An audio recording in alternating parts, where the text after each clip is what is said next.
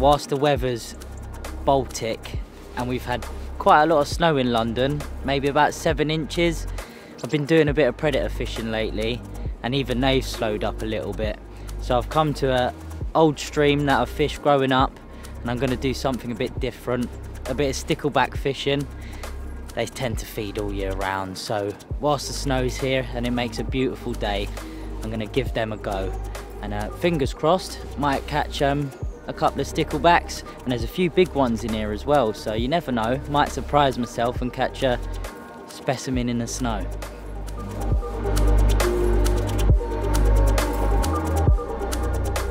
Well to catch these little sticklebacks you have to fish really delicate.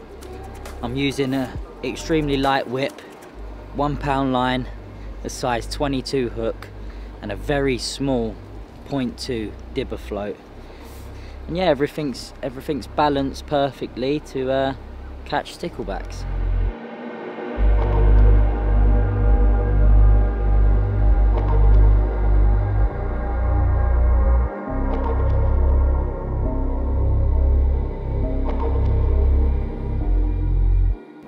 Oh.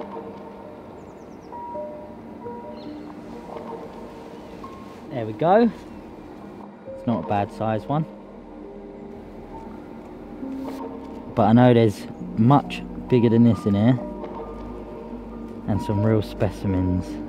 Although he's not bad.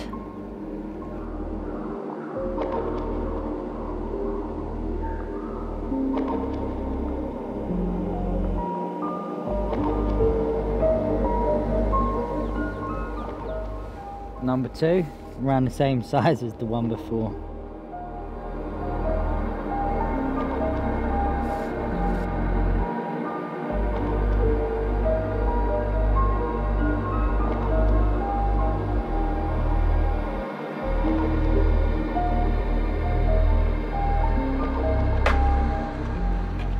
Oh, that's a bit better. What's that? No way. It's a stickleback. A giant one at that.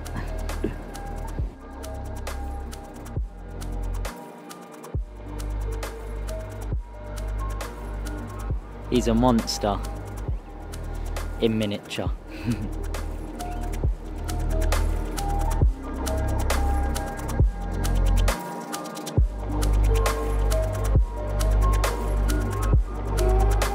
Well, with sticklebacks being micro predators and they feed on a lot of live little living organisms, I'm actually using not ground bait but a little bit of soil and uh, I'm mixing in just a little defrosted cube of bloodworm that I got from the aquarium shop and uh, just applying that as my loose feed and a little bloodworm on the hook.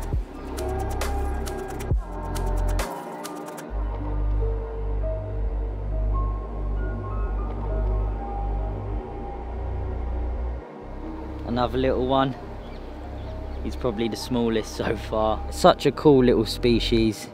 Really aggressive at times. They're actually related to seahorses as well, would you believe? Yeah, just incredible really. the way he just whizzed around.